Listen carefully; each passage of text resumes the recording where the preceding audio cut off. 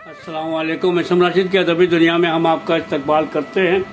तो दोस्तों, पेश खिदमत है एक मजमून जो शाये हुआ है आपके अवामी न्यूज़ में। मजमून निगार हैं doctor Wala Jamal Alasili associate professor, Jammu associate professor शोबे Urdu, faculty of arts and Shams university काहरा मिस्र हज़रत अबू दर्द दर्दा रज़ी अल्लाह अनहा तहरीर डॉक्टर वला जमाल अलसली काहरा जून 28 2021 हज़रत अबू अल दर्दा रज़ी अल्लाह अनहा रसूल मोहम्मद सल्लल्लाहु अलैहि वसल्लम एक मरूफ और जानसार सहाबी थे। रसूल मोहम्मद सल्लल्लाहु अलैहि वसल्लम एक मरूफ और जानसार सहाबी थे।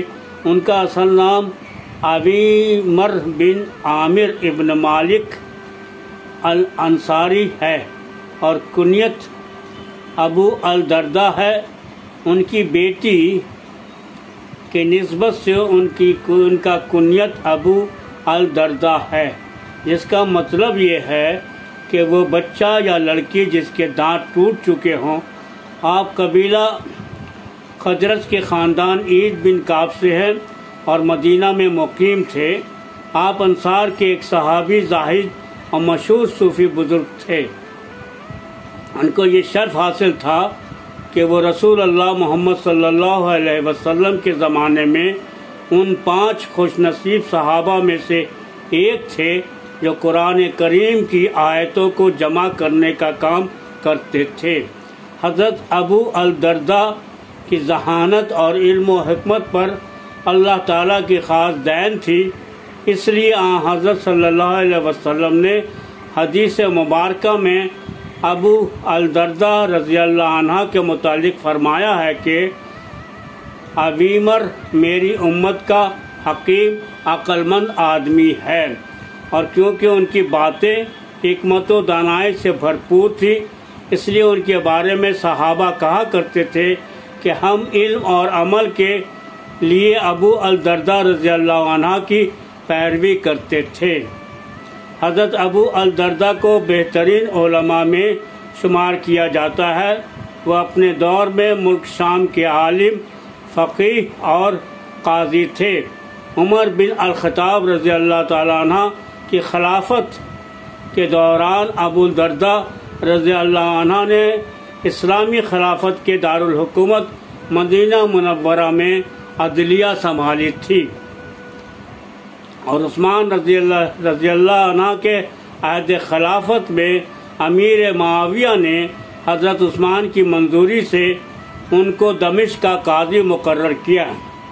हाँ हज़रत की वफात के बाद अबू अल दर्दा उन चंद लोगों में से एक थे जो पूरे कुरान के हाफिज बने थे। उन्होंने मोहम्मद सल्लल्लाहु अलैहि वसल्लम से कुरान करीम हिफ्स किया था। वो लोगों को कुरान करीम का सही तलफ़ और दुरुस्त मखारिज पढ़ना सिखाते थे। इल्म के तलबगारों को शर्य मसाइल बताते थे और बच्चों को नबी करीम सल्लल्लाहु अलैहि वसल्लम के अखलाक भी सिखाते थे। उनसे रिवायत करदा सेवेंटी नाइन अहादीस, कुतब अहादीस में मौजूद हैं। उहद की जंग में हज़रत अबू अल दरदा रज़ी अल्लाह ने इस्लाम की सरबुलंदी के लिए बड़ी बहादुरी के साथ कुफ़ार का मुकाबला किया था। वो घोड़े पर सवार होकर मैदान में आए थे। उनकी बहादुरी को देखकर हुजूर सल्लल्लाहु अलैहि वसल्लम ने उनको बेहतरीन शाह सवार करार दिया था। आप सल्लल्लाहु अलैहि वसल्लम ने फरमाया कि अवीमर के अवीमर किस कदर अच्छे सवार हैं? ओहद की जंग के अलावा हज़रत अबू अल दर्दा ने इस्लामी रियासत के मुतद खुजवात और फतूहत का मुशाह किया और उनमें बड़ा किरदार था। हज़रत अबू अल दर्दा रज़ी अल्लाह ने पूरी ज़िंदगी नहाय सादगी से गुजार दी थी। वो इस्लाम कबूल करने से पहले तजारत किया करते थे। वो बहुत ही दौलतमंद थे। इस्लाम कबूल करने के बाद वो इबादत के ज़ौक़ और गुनाह के डर से तजारत को तर्क कर दिया और याद इलाही में मसरूफ़ हो गए और अपने आप को इबादत के लिए वक्फ कर दिया। हज़रत अबू अल दरदा रज़ी अल्लाह ने जंग बदर में इस्लाम कबूल करने का ऐलान किया था। वो मुशरक थे। और अपने घर में वो एक बहुत, एक बुत की पूजा करते थे। एक दिन घर के मालकान ने उनके घर दाखिल होकर उनका बुत तोड़ दिया था। फिर हज़रत अबू अल दरदा ने बुत की बाकिया जमा करना शुरू कर दी थी और उस वक्त बुद्ध से बात कर रहे थे कि, क्या तू अपना दफ़ा नहीं कर सकता? तो उनकी अहलिया उम अल दरदा ने बुत के बजाय उनको जवाब उनका जवाब दिया कि अगर इस बुत से कोई फ़ायदा है तो ये सबसे पहले अपने खुद को फ़ायदा पहुंचाएगा। उसके बाद हज़रत अबू अल दरदा ने गसल किया और रसूल अल्लाह सल्लल्लाहु अलैहि वसल्लम के पास गए और इस्लाम कबूल करने का ऐलान किया। रसूल अल्लाह सल्लल्लाहु अलैहि वसल्लम ने भी फरमाया कि अल्लाह ने वादा किया है कि अबुल दरदा इस्लाम कबूल करेंगे। हज़रत अबू अल दरदा की एक उमदा सीरत थी। उन्होंने सारी ज़िंदगी एक जाहिद की हैसियत से गुजारी थी। उन्हें कभी भी दौलत और ऐश आराम का मज़ा नहीं आया था और उनके बारे में कहा जाता है कि खलीफा यजीद बिन माविया ने हज़रत अबू अल दरदा की बेटी से शादी के लिए पेशकश की थी। लेकिन हज़रत अबू अल दरदा ने इनकार कर दिया था और उसके बाद उन्होंने गरीब आदमी से अपनी बेटी की मंगनी करवाई। लोगों को जब ये खबर मिली तो अबू अल दरदा ने कहा, कि आप लोग क्या सोचते हैं? मैंने सोचा था कि मेरी बेटी खलीफा माविया से शादी करने के बाद क्या सोचेगी, जब वो देखेगी कि उसके सर पर ताज रखे गए हैं। और जब उन मकानों में ज़िंदगी गुजारेगी जहाँ हर चीज़ चमक रही है, उस दिन उसका दीन कहाँ होगा? हज़रत अबू अल दरदा का मतलब ये है कि दौलत और शाही माहौल उनकी बेटी के मज़हब पर असर डालेंगे और वह अपना मज़हब भूल जाएगी।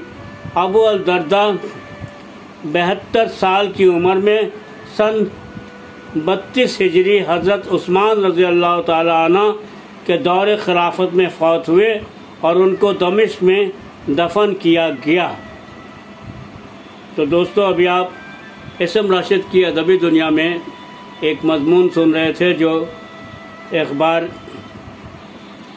अवामी न्यूज़ कलकत्ता में शाये हुआ है और इस मजमून की खालिक है ए, ए, सिर्फ़ सारी दुनिया की बहुत ही मशहूर मजमून निगार आजकल उर्दू की बहुत खिदमत कर रही हैं अगरचे आपका ताल्लुक़ अरबी ज़बान से है, लेकिन उन्होंने उर्दू में तालीम हासिल की और उर्दू की प्रोफेसर भी बनी हैं, उर्दू की खिदमत कर रही हैं।